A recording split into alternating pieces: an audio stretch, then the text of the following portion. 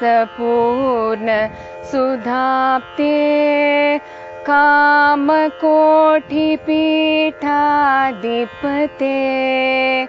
शरणे शरणं देहि ते चन्द्रशेखर गुरुमूर्ते। अक्षयानन्द चिक्षक्ते दक्षिणाभिमुख शिवाकृते। रक्ष रक्ष मां तपोनिदे चन्द्रशेखर गुरुमूर्ते चन्द्रशेखर गुरुमूर्ते நமஸ்காரம். கண்டேன் கருணை கடலை என்ற இந்த நிகழ்ச்சியின் வாயிலாக பெரிவாளோட பயணித்தவர்களை நாம் சந்தித்துக் கொண்டிருக்கின்றோம். அந்த வரிசையில் இன்றைக்கு ஓரிக்கை மணிமாமா அவர்களை சந்திக்க இருக்கின்றோம். அவர் இந்த பிரம்மாண்டமான ஓரிக்கை மணிமண்டபத்தை பெரிவாளுடைய அனுகிரகத்தினால இவ்வளோ ஒன்று ஒன்றும் பார்த்து அவ்வளோ அருமையா தஞ்சாவூர் பிரகதீஸ்வரர் டெம்பிளுக்கு இணையாக ஃபுல்லாக கிரானைட்லேயே கட்டியிருக்கா. எந்த ஒரு ஸ்டீலோ எதுவோ உபயோகப்படுத்தாமல் இந்த பிரம்மாண்டமான மணிமண்டபத்தை கட்டியிருக்கா. அவள் எஸ்எஸ்எம் ட்ரஸ்ட் வழியாக இதை பண்ணியிருக்கா. மாமா வந்து post graduate in structural engineering அவள் குடும்பமே வந்து இந்த இன்ஜினியரிங் கன்ஸ்ட்ரக்ஷன் லைனில் தான் இருக்கா. இன்றைக்கு இந்த பெரிய மகானை சந்திப்பதில் நான் ரொம்ப பெருமைப்படுறேன். மாமா நமஸ்காரம் மாமா. நீங்க வந்து பெரிவாளோட நிறைய பயணித்திருக்கு அந்த வரிசையில உங்களுக்கு பெரிவாளை எப்படி உங்களுக்கு அறிமுகம் ஆச்சு? சுமாராக என்னுடைய பத்து வயசில் இந்த ஓரிக்கை கிராமத்தில் முதல் முதல் தரிசனம் கிடைச்சிது. என் தகமனார் குடும்பத்தோட இந்த ஓரிக்கையில் அப்போ இந்த மாதிரி ஓரிக்கை கிடையாது. ஒரே பனந்தோப்பு அந்த இடத்துல வண்டியை நிறுத்திட்டு நடந்து வரணும். பெரிவா இந்த அக்ரஹாரத்தில் சாதுர்மாசியம் பண்ணிட்டு இருந்தாப்போ அப்போ தான் முதல் முதல் தரிசனம் எனக்கு சுமாராக பத்து வயசில் கிடைச்சிது. ஓ பெரிய பாக்கியம். நீங்க பத்து வயசுலேருந்து பெரியவாளோட ஒரு இது பண்ணிட்டு இருக்கேன் என் தகப்பனார் அப்பப்போ எங்கெங்கே போகிறாரோ அப்போ நானும் கூட போவேன். எங்கே இருந்தாலும் போவார் நாங்களும் போவோம். முக்கியமாக அந்த வானகரங்கிற இடத்துல பெரியவா ரொம்ப நாள் இருந்தா தினம் சாயங்காலம் எங்கள் தகப்பனார் போவார் அப்போவும் நானும் கூட போயிட்டு. அந்த மாதிரி பெரியவாளை பார்த்து பார்த்து பார்த்து நம்மளுக்கு ஒரு இது ஒரு வாழ்க்கையில் எப்படி இருக்கணும்னு தெரிஞ்சது. உங்களுக்கு வந்து நிறைய அனுபவங்கள் ஏற்பட்டிருக்கும் மாமா. இத்தனை வருஷம் நீங்க பெரியவாளோட பயணித்ததுல உங்களுக்கு ஏதான ஒரு முக்கியமான ஒரு பெரிய ஒரு அனுபவம் இருந்ததுன்னா அதை கொஞ்சம் எங்க கிட்ட பகிர்ந்துக்கோங்க.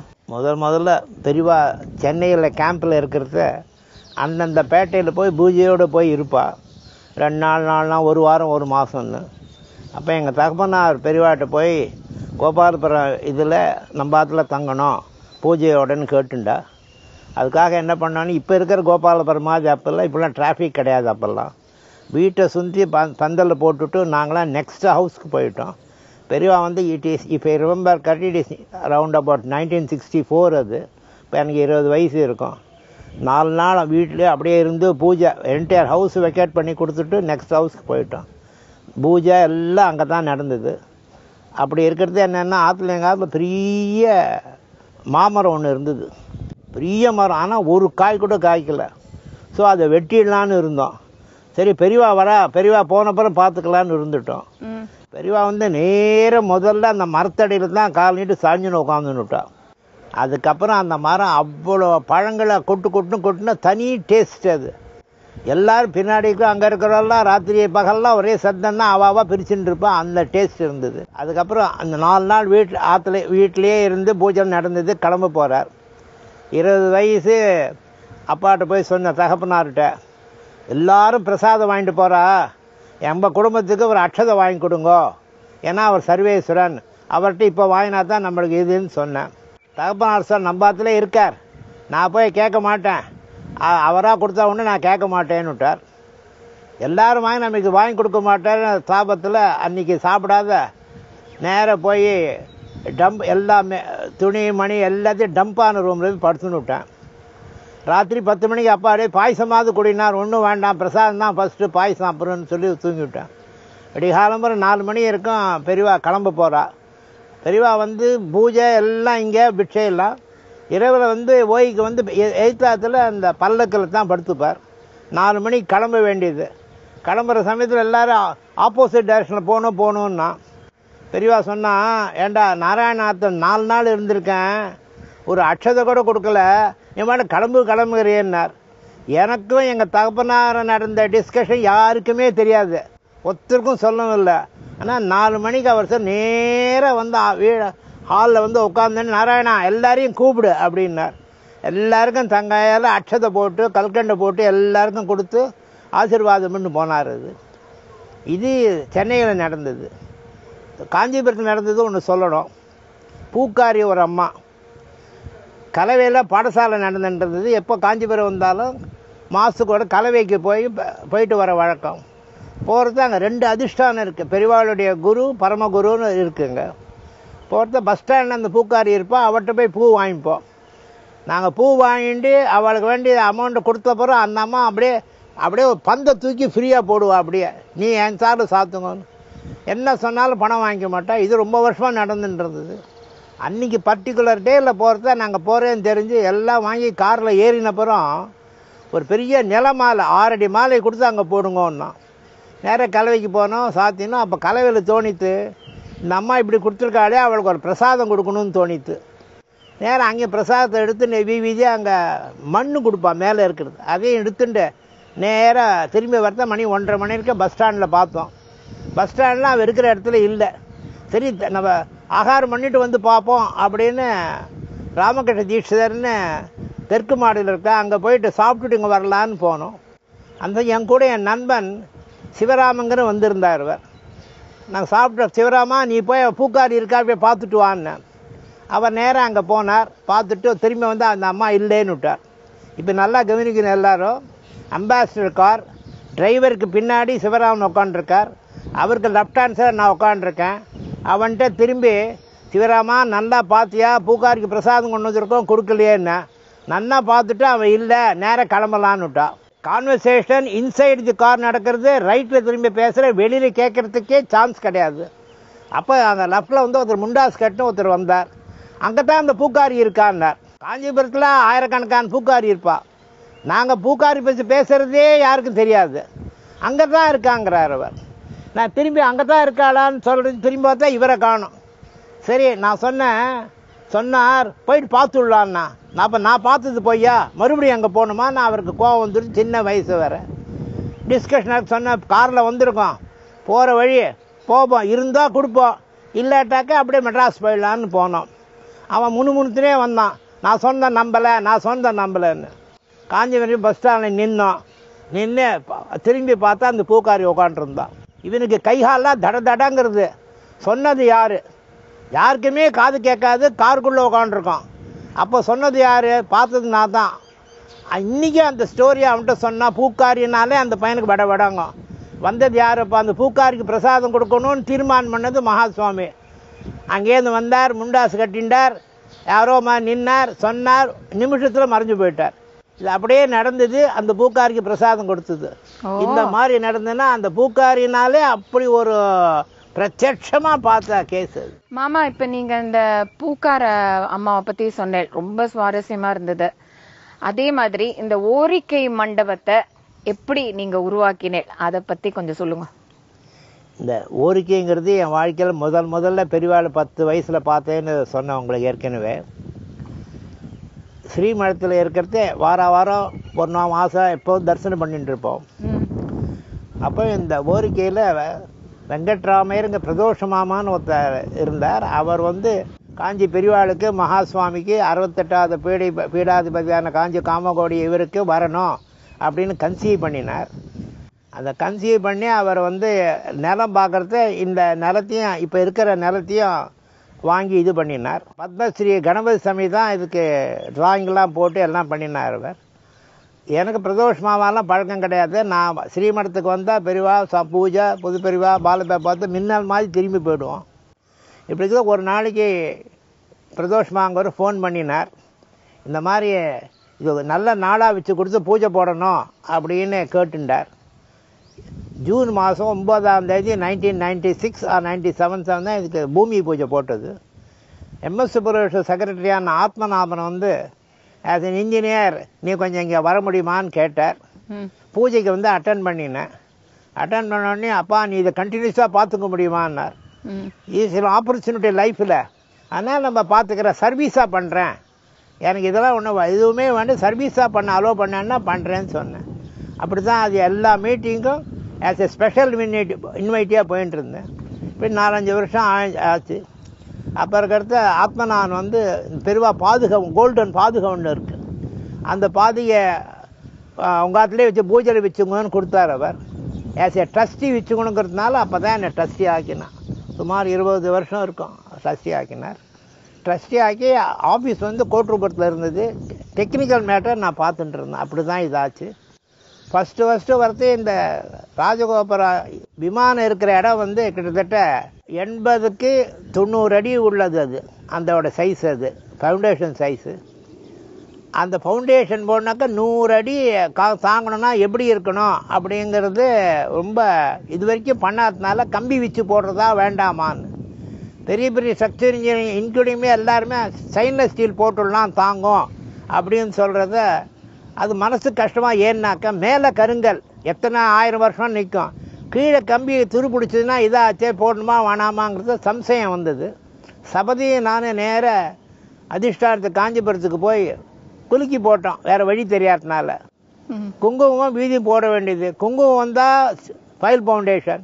விவிதி வந்தால் வேறு மாற்றணுன்ட்டு விவிதி வந்துடுத்து உடனே தான் ரிஷிகள்லாம் என்ன சொல்கிறாங்க இப்போ காஞ்சிபுரம் ஏகாம்பரச கோயில் ராமேஸ்வரன் கோயில் மதுரை கோயிலெலாம் ஃபவுண்டேஷன் எப்படி போட்டான்னு பார்க்குறத எத்தனை அகலம் இருக்கோ அத்தனை அகலத்தில் ஒன் தேர்டு பூமி கீழே போய் மணல் ரொப்பி போடலான்னு வந்து அதே மாதிரி பண்ணி தான் இந்த நூறு அடி உயரமுள்ள விமானம் நிற்கிறது அது.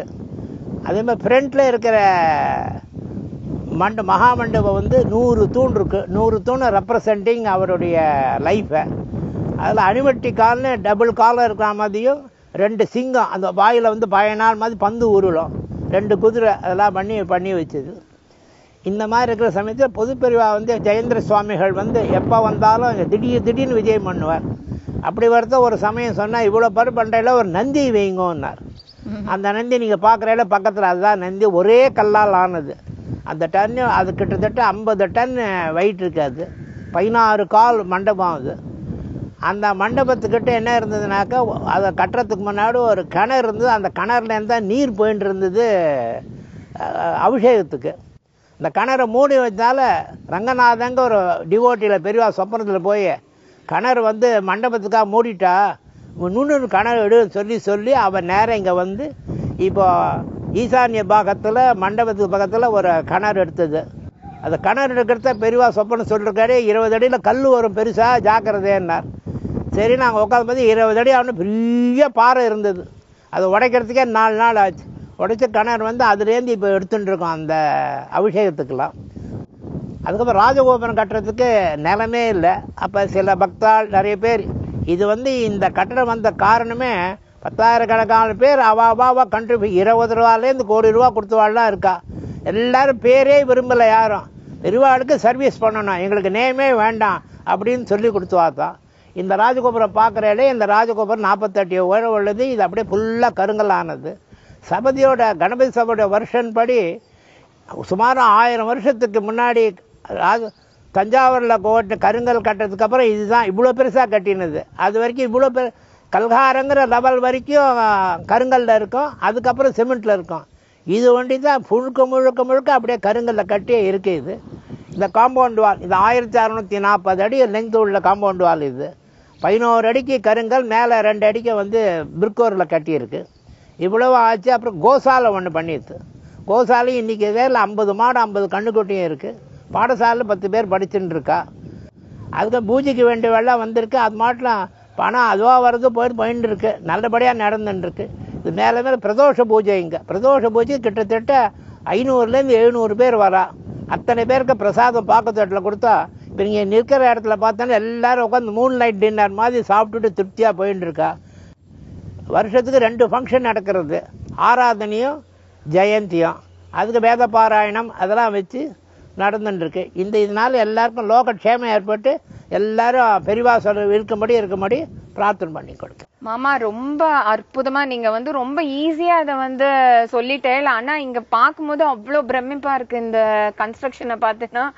இவ்வளோ பெரிய இதை வந்து எவ்வளோ நீங்க சாதாரணமா சொல்றேங்கிறது தெரியறது. ஒவ்வொருத்தருக்கும் ஒரு வேண்டுகோள். நீங்க எல்லாரும் வந்து இந்த ஓரிக்கை மணிமண்டபத்தை கண்டிப்பா வந்து பார்க்கணும். ஏன்னா இது மாதிரி ஒரு பிளேஸ் வந்து நம்ம காஞ்சிபுரத்துல இருக்கு நமக்கும் கிட்டக்க இருக்கு. நம்ம வந்து இது ஒரு பெரிய ஒரு மாஸ்டர் பீஸ் இது. இது வந்து எல்லாரும் வந்து தரிசனம் பண்ணோம். இங்க பெரிவா இருக்கிறது வந்து உங்களுக்கு இதுல தெரியும். இங்க வந்து நீங்க தியானம் பண்ணாலே இங்கேயே நான் உட்காரும் போதே அவ்வளோ ரொம்ப ரசிச்சு பண்ணிட்டு இருக்கேன் இந்த இன்டர்வியூவை மாமா மேல மேல இந்த எஸ்எஸ்எம் ஸ்ரீ ஸ்ரீ மாத்துபேசி மகாலட்சுமி மாத்துபேசி ட்ரஸ்ட் மூலம் தான் நடக்கிறது இது. இது வந்து கும்பாபிஷேகம் நடக்கிறத முதல் கும்பாபிஷேகம் விமானம் நடக்கிறத பூஜ்ய ஸ்ரீ ஜெயேந்திர பெரிவாளும் பூஜ்ய ஸ்ரீ சங்கர விஜய சுவாமிகளும் வந்து தான் நடத்தினான். அது வந்து இருபத்தெட்டு ஜனவரி ரெண்டாயிரத்தி பதினொன்று நடந்தது. அதுக்கப்புறம் இந்த ராஜகோபுர கொண்டு கும்பாபிஷேகம் நந்தி கும்பாபிஷேகமும் இருபத்தி ரெண்டு ஆறு ரெண்டாயிரத்தி பதினெட்டில் நடந்தது. அவள் நேராக வந்திருந்து எல்லாரையும் ஆசீர்வதித்து இது நடத்தி கொடுத்தாத மேலும் மேலும் இது நடக்கிற பூஜையெல்லாம் தான். இந்த இடத்துக்கு வந்தாலே என்னன்னாக்கா மனசில் ஒரு காலை வேளை ஏழு மணிக்கு உட்காந்தா அவ்வளோ ஒரு மனசாந்தி கிடைக்கும். எவ்வளோ ப்ரெஷர் ஒருத்தவங்க டென்ஷன் இருந்தாலும் இந்த இடத்துல ஒரு பத்து நிமிஷம் உட்காந்துட்டு போயிட்டாக்கா சாந்தியம் கிடைச்சிடாது. அதை அவாவாக நம்ம வந்து எக்ஸ்பிளைன் பண்ண முடியாது. அவாவா அனுபவிச்சா தான் சொல்ல முடியும். நான் பெரியவாளோட பயணித்து வந்தவா அத்தனை பேர்கிட்ட கேட்டேன்னா நான் பெரியவாள்கிட்ட இது கத்துன்னு இருக்கேன் அது கத்துன்னு இருக்கேன் அப்படின்னு நிறைய பேர் சொல்றா. நீங்க என்ன கத்துன்னு இருக்கேள் எதை நீங்க வந்து கடைபிடிக்கிறீள் ரொம்ப ஸ்ரத்தையா. நான் பத்து வயசுலேயே ஒரு பாட்டுனால ஃபஸ்ட்டு சிம்பிளிசிட்டி அந்த மாதிரி ஒரு சிம்பிளிசிட்டி வந்து பார்க்கவே முடியாது. அந்த அவர் உடுத்திக்கிற வஸ்திரத்துலேருந்து பார்த்தேன்னா அவ்வளோ சிம்பிளாக இருக்கும். கையில் இருக்கிறதெல்லாம் மர பாத்திரம் தான் வச்சுருப்பார் அவர். இந்த படுத்துக்கிற இடம்லாம் பார்த்தாலும் அப்படியே வசரத்தை போட்டே இது பண்ணுவார். அந்த சிம்பிளிசிட்டியோட பராகாஷ்டம் அது. அதுக்கு மேலே சிம்பிளிசிட்டியாக டிஃபைன் பண்ண முடியாது. ரெண்டாவது என்னன்னாக்கா வாழ்க்கையில் எப்படி இருக்கணும் அப்படிங்கிறத முதல்ல எடுத்தோடனே எல்லாருக்கும் பிடிக்காது. மருந்து கசந்தாலும் சாப்பிட்டா தான் தேவையாகிற மாதிரி சொல்கிறத சொல்லணுங்கிறதுனால முதல்ல காப்பியை நிறுத்தினார் அவர். இந்த காப்பியை நிறுத்துறதுக்கு படாது பாடு போடும் தலை வலிக்கும். பைத்தியம் முடிச்ச மாதிரி இருக்கும். அதை கண்ட்ரோல் பண்ணால் தான் காப்பியை நிறுத்த முடியும். அதை முதல்ல நிறுத்திட்டு. அதுக்கப்புறம் மேரேஜ்னு வந்தால் வச்சுக்கோ அவள் ஒவ்வொரு ஒவ்வொரு குடும்பம் எந்த வர்ணத்தாராக இருந்தாலும் சரி இந்த ஸ்திரீகளை கல்யாணம் பண்ணுறதுக்குள்ள அவ்வளோ படாது பாடுபடுவா அதை முதல்ல நிறுத்தினார். வரதட்சணை வாங்காத வரதட்சணை நிறுத்து அப்படின்னு. அடுத்தது பார்த்தேன்னா இந்த பட்டுப்பொடியாக வாங்கிட்டு இருப்பா. வாங்கி அதில் காசு பண்ணிட்டுருக்கோம் அதை நிறுத்து. வாழ்க்கையை வந்து நீ த ரொம்ப சாதா இப்போது ஒரு ஆட்டோக்காரனாக இருந்தால் ரிக்ஷாக்காரனாக இருந்தாலும் டாக்ஸி ஓட்டுறது அவனு தான் சாப்பிட்றான். மல்டி ஸ்டோரில் இருந்தால் அவனு தான் சாப்பிட்றான். மொத்தம் அதான். அவள் வந்து தினம் அல்வா திங்க முடியாது இவன் தினம் வேர்க்கலை திங்க முடியாது. ஆனால் சிம்பிளாக இருந்தால் வயது வியாதியும் வராது. சிம்பிள் சாதாரணமாக இருந்து நடமாட்டத்தில் இருந்தாக்க செலவும் கம்மியாக இருக்கும். போத் அண்ட் ஸ்மீட் ஆகிடும் நீ சம்பாதிக்கல கொஞ்சமாவது மிச்சம் பண்ணி மிச்சம் போக த தர்மம்னு இல்லை. மிச்சப்படுத்தி தர்மம் பண்ணணும். கொஞ்சமாவது அவ வாழ்க்கை சக்திக்கு ஏற்றவாதி பண்ணணும்ன்ட்டு. அதனால் ஒரு வாழ்க்கை எப்படி நடத்தணும்? எப்படி இருக்கணும்? அப்படின்னு அவர் சொல்லி கொடுத்து கடைப்பிடிச்சா ஒருத்தருக்கும் துன்பம் வராது. என்ன கஷ்டம் வந்தால் சுகம் வந்தாலும் ஒரே மாதிரி பழக்கணும் இது வந்து சொல்கிறது ஈஸி ஆனால் அது அபியாசம் ஆக ஆகத்தான் வரும் அது. அவர் கூடயே தரிசனம் பண்ணி அப்படியே பார்த்துன்னு வந்து அவர் சொன்னதை கடைப்பிடிச்சா கண்டிப்பாக வாழ்க்கை நிம்மதி கிடக்குது சந்தேகமே இல்லை. மாமா நீங்கள் பெரியவாள்கிட்ட ஏதான ஒரு சந்தேகம் ஒரு உங்களுக்கு ஒரு கேள்விக்கு பதில் தெரியணும் அப்படிங்கிற மாதிரி நீங்க ஏதான பெரியவாள்கிட்ட கேட்டு பெரியவா உங்களுக்கு சொல்லியிருக்காளா? முதல் முதல்ல பெரியவாளை பார்த்தோன்னே நான் நினைக்கிறதுக்கு அவர் பதில் சொல்கிறதுனால நான் எதுவுமே அவர்கிட்ட கேட்கறது கிடையாது. ஏன்னா நான் என்ன நினைக்கிறேன்னா பதில் வந்துடுது அவர்கிட்ட. அப்போ தான் அவர் எனக்கு யாருன்னு புரிஞ்சுது. அந்த எத்தனை வயசுல இந்த பத்து பன்னெண்டு வயசுலேயே புரிஞ்சுது. எது அவர்கிட்ட வந்து என்னென்னா லௌக்கிகமாக என் பொண்ணு கல்யாணம் ஆகணும். வேலை கிடைக்கணும் சீட்டு கிடைக்கணும் அப்படின்னு கேட்குறது வெறும் சாதாரண அது. என் நிலையில் நான் சொல்கிறேன் உங்களுக்கு. நான் எப்படி படிக்கணுட்டேன்னா கே நினைக்கிறதுக்கு போது சொல்கிறதுனால ஒன்றுமே கேட்குறது கிடையாது. ரெண்டு இன்ஸ்டன்ஸ் இருக்குது எனக்கு வே வேலையை விடுறங்கிறத என் தகப்பனார் போய் கேட்டார் இவன் நீங்கள் சொன்னா தான் வேலையை விடுவேங்கிறான் அப்படின்னா. பெரியவா செய்யட்டும் நடத்தட்டும் அப்படின்னு உத்தரவு கொடுத்தாரு அப்போ. கேட்கறதுக்கு அதுக்கப்புறம் என்ன சொன்னார்? எங்கள் அப்பா வேதாத்தியம் பண்ணுன்னு சொன்னார் எங்கள் அப்பாவை. அதை எனக்குன்னு எடுத்துன்னு நான் முப்பத்தஞ்சு நாற்பது வயசுக்கு பிறகு பன்னெண்டு பன்னெண்டு வருஷம் ஆற்றுல வர வாத்தியாரை வர வச்சு அதை இது பண்ணிட்டேன் நான். பெரிவாளாக சொன்னது என்னன்னாக்கா ஆற்றுல வந்து மகாயாக கிரமாராத்யா அப்படின்னு இரநூத்தி இருபத்தி அஞ்சு முப்பதாவது லலிதா சாஸ்திராவில் வர அர்ச்சனை அது. மகாயாக கிரமாராத்யான்னு. அது தகப்பனால் தகப்பனார் ஆற்றுல யாகம் பண்ணினார். இப்போ பெரியவாட்ட போய் கேட்டார் இந்த மாதிரி பண்ண போகிறேன் அப்படின்னு சொல்லிட்டு எங்கள் தகப்பனார் ஆறு பேர் ரித்விக்கு வேண்டியிருக்கு. ரித்விக்குன்னா ஆறு பேர் பண்ண வேணும். எங்காத்துலேயே யாராவது இருந்தால் தேவையில்லைன்னார். அப்போ பெரியவா என்ன கூப்பிட்டேன் நீ போய் உங்கள் அப்பாட்டையும் உபதேசம் பண்ணிட்டு நீ போய் உக்காந்துக்கோன்னார். அதுக்கப்புறம் தான் அந்த எங்கள் தகப்பனார் மந்திரோபதேசம் பண்ணி அது ஆகி நீ வரைக்கும் இப்படி இருக்கு. அவரை பார்த்ததுனால என்ன படித்தா என்ன பண்ணாலும் கடைசியில் லைஃப் என்னன்னு தெரிஞ்சுனதுனால சிம்பிளாக இருந்தால் ஒரு கஷ்டமும் இல்லை போகிறோம் அப்படிங்கிறதுனால இந்த ஆயிடுத்து இந்த சதாபிஷேகம் வரப்போகிறது எல்லாம் அவர் பார்த்துப்பார் அவர் நடத்துவார். இப்போ நிறைய பேர் சந்திச்சு கேட்டதுல பெரிவாளை வந்து திடீர்னு வந்து பெரிவாளை பார்க்கும்போது ராமரா தெரிகிறார் கிருஷ்ணராவா பார்த்தேன் விஸ்வரூப தரிசனம் பார்த்தேன் அப்படின்னு சொல்றா. அது மாதிரி உங்களுக்கு ஏதான அனுபவம் வந்திருக்கா? அண்ணாமலை இன்ஸ்டியூட்டில் சிதம்பரத்தில் தான் அஞ்சு வருஷம் பியும் அதுக்கப்புறம் ரெண்டு வருஷம் ப்ரோஸ் போஸ்ட் கிராஜுவேட் பண்ணினேன். அதனால் அண்ணா சிதம்பரம் நடராஜாட்ட மகா மகா பக்தி எனக்கு. சிதம்பரம் தர் ஒவ்வொரு பிரதோஷத்துக்கும் ஏழு வருஷத்துக்கு நான் அட்டன் பண்ணியிருக்கேன் அதை ஸ்ரீமடத்துக்கு வரத்த பெரியவா வரத மேடையில் உட்காந்துருந்தார் நான் கடைசியில் நீ என்ன அப்பப்போ முதல்ல தரிசனம் பண்ணுறவாள் நேருக்கிறது தான் நம்ம போய் குறுக்க நிற்கக்கூடாதுன்னு பின்னாடி போய் நின்றுடுவோம் பின்னாடி பார்த்தோன்னா எழுந்திருக்கிறத மனசில் நான் மனசில் நினைக்கிறேன். நான் அவரை கேள்வி கூட கேட்கல. நடராஜான்னு நினச்சேன். அவர் எழுந்துக்கிறதே அப்படியே அந்த டான்ஸ் போஸ்ட் கொடுப்பார். அப்போ அப்போ இதுக்கு மேலே என்ன வேணும்? மனசில் நினைக்கிறது சொல்கிறாங்கிறதுனால தான் அப்படியே காலத்தை மெல்ல மெல்ல நிறைய நிறைய நான் நான் பெரிய ஃபேமிலி மேன் எல்லாரையும் படிக்க வச்சார். எல்லாருக்கும் ஆட்டோமேட்டிக்காக கல்யாணம் பண்ணி வச்சார். எல்லாம் நட முழத்தில் இதை முடிக்கணும்னா அவர் வேலையை எனக்கு தெரிஞ்ச வரையும் பார்த்தேன். என் குடும்ப நலட்சேன யோகக்ஷேம மகாமிகம் அப்படின்னு அவர் பார்த்துன்னுட்டார் வார அப்போ ஸ்ரீமடத்தில் வேலை நடந்திருக்கு. பிர்லாவை தான் ஃபைனான்ஸ் பண்ணி கட்டணம் பூரா கட்டின்னு இருக்கா ஆஸ் ஏ டெக்னிக்கல் மேனு வாரா வாரம் வாரத்துக்கு ஒரு நாளோ ரெண்டு நாளோ காஞ்சிபுரம் வந்து அந்த வேலையை பார்த்து ஃபைனான்ஸ் ஒண்டி பிர்லா ஃபேமிலியில் பண்ணினா பாக்கி டெக்னிக்கல் எடுத்தோ எல்லா இதுவும் நாங்கள் பார்த்துட்டு வாரம் வாரம் ரெண்டு தாட்டி வருவோம். அப்போ என் பத்தாம் கிளாஸ் படிக்கிற என் பொண்ணுக்கு ரொம்ப உடம்பு சரியாயில்ல சரி அன்னைக்கு காஞ்சிபுரம் போகணுன்னு இருக்கோம். ஒரு ஒன்று எக்ஸ்ரே எடுக்கணும்பா எக்ஸ்ரே எடுக்க சொல்லிட்டு நேராக காஞ்சிபுரம் வந்துடுவேன். ரிசல்ட் ஒன்றும் இருக்காது பயப்பட வேண்டாம்னு சொல்லிட்டு வந்துடுவேன். ரிசல்ட் ஒன்றும் இருக்காது. அடுத்த நாளைக்கு இஇஜி எடுக்கணும்பா இசிஜி எடுக்கணும்பா ஒவ்வொரு டெஸ்ட்டு பண்ணியிருக்கா பிளட் டெஸ்ட்டு ஒவ்வொரு டெஸ்ட்டும் எடுத்து கொடுத்துட்டு காஞ்சிபுரம் வந்துடுவேன். ரிசல்ட் ஒன்றும் இருக்காது. ஒரு மாதம் ஆயிடுத்து பள்ளிக்கூடம் போக முடியல. அங்கேருந்து அங்கே நல்ல அப்போல்லாம் நல்ல ஹெட்மிஸ்டர்ஸ்லாம் அவள்லாம் வந்து வீட்டுக்கே வந்து கவலைப்படாதீங்க. உங்கள் பொண்ணு நல்லா படிப்பா. பரீட்சையை பற்றி கவலைப்படுறது ஹெல்த்தை பார்த்துங்கன்னு சொல்லிட்டு போயிட்டா. எவ்வளோ தாட்டி பெரியவாட்ட வந்தாலும் பொண்ணுக்கு உடம்பு சரியில்லைன்னு சொல்ல மாட்டேன். அவரும் ஒன்றும் கேட்க மாட்டேன். நானும் பதில் சொல்ல மாட்டேன். இப்படியே ஒரு மாதம் ஓடிச்சு பள்ளிக்கூடமே போகல. அன்றைக்கி ஒரு நாள் பெரியவா தரிசனத்துக்கு வந்தோம். அன்றைக்கி அதே மாதிரி க்யூவில் வந்துட்டுருக்க கடைசி ஆள் நான் தான். பார்த்து ஜனங்கள்லாம் மேடையில் ஏறிண்டு அவள் அது கதவு சாத்திடுவா தரிசனம் அனுப்புகிறோம் அதுக்காக நின்றுட்டுருக்கா நான் கடைசி ஆள் வந்தேன் வந்த உடனே எனக்கு ஒரு பிரசாதம் கொடுத்துட்டா நான் கிளம்ப போகிறத நில்லுன்னுட்டார். அப்படி நின்றுட்டேன் எல்லோரும் பார்த்துட்டுருக்கிறத எல்லாம் சைகையில் தான் அவர் சொல்வார். கீழே பார்த்தார். கீழே பார்த்தோன்னே தட்டில் ஏதோ இருந்தது. இழுத்து அரக்கோணம் பாலுங்கிறவ எடுத்து கொடுத்தார் அதை. அதில் என்ன இருக்குது பெரியவா நார்மலாக இதை ரட்சையெல்லாம் கோயிலில் நட்டுக்கிறத முடிஞ்ச வரைக்கும் எல்லா இதுக்கும் எடுத்து கூட தனியாக தான் இருப்பார். ஆனால் எல்லாரும் பார்த்துட்டு இருக்கிறதே அந்த வீவிதி இட்டு எடுத்துட்டார். குங்குமத்தை எடுத்து விட்டுண்டார் விட்டுண்டு அவன்கிட்ட கொடுத்து விடுன்ட்டார். நான் வாங்கினுட்டேன் போய் கதை சாத்திட்டான். ஜனங்களாக பறக்கிறது எனக்கு எனக்குன்னு. நிறைய இருந்தது அது வீதி குங்குமம்லாம் பூவெல்லாம். எல்லாம் ஆள் ஆள் கொஞ்சம் கொஞ்சம் பாக்கி போட்டெலாம் கட்டிட்டேன். எது கொடுத்தா தெரியலையேன்னு வரத்தை அந்த அரக்கோணம் பால் எதிர்க்க வந்தார். அப்பா என்னப்பா பிரசாதம்னு கேட்டேன். ஜுரஹரேஸ்வரர் அப்படின்னார்.